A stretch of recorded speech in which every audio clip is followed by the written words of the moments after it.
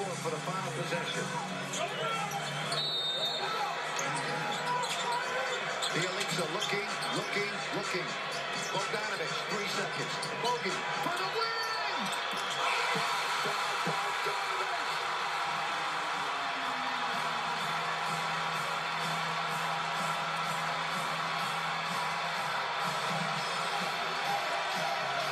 Pick them up and send them home!